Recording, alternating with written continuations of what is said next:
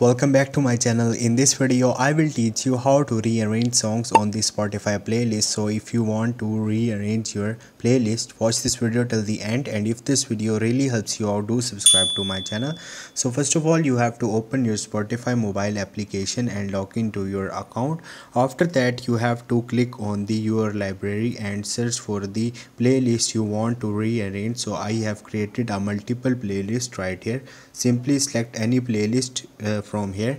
And here you will see three dot icon. Just click on it. Here you will see edit playlist option. Click on it. Once you will do it it will redirect you to the new page.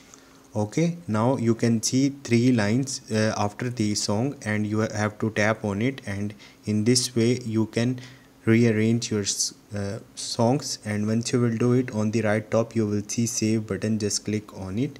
Now you can see playlist is rearranged. Hope this video will helpful for you. If you have any question or any confusion just drop a comment. I will try to help you. Thank you